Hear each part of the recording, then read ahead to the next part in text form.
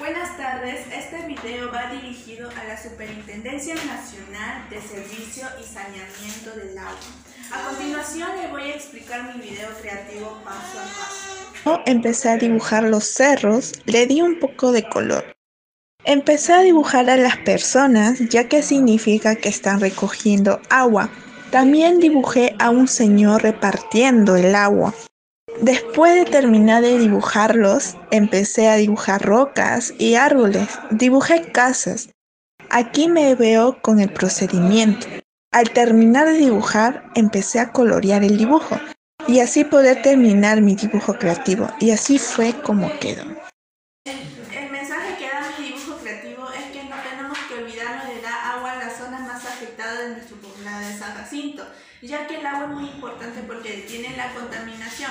El agua es de vital importancia para el consumo. Desde ya las, las autoridades tienen que poner cartas en el asunto para que pueda el agua potable llegar a las zonas más afectadas de nuestro poblado de San Jacinto.